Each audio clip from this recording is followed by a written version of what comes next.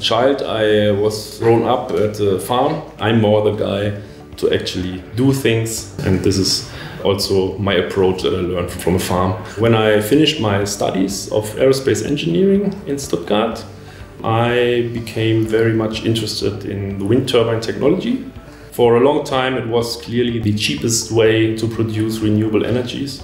There is a lot of energy available through wind energy, and this made it very interesting to me also. The wind energy was a very nice approach to make use of renewable energies without uh, needing very complex technology. In the end, it started to become clear that also wind energy is quite complex. digital twin is a digital representation of a physical asset.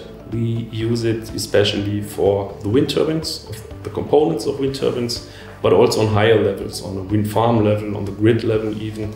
And this digital twin makes it uh, possible to look into details. For example, wind turbine that is not easily to be seen. You use a digital representation to get a detail within the drivetrain, within the gearbox that you cannot measure uh, on the physical side very easily.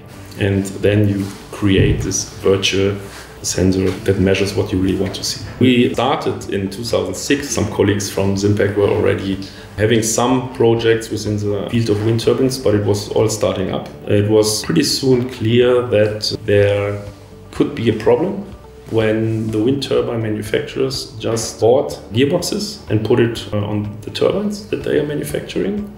And then it ended up sometimes with a lot of trouble and then we figured out that with the multi-body approach, with Simpack, we were able to already identify those issues very early in the design phase. It was a huge success.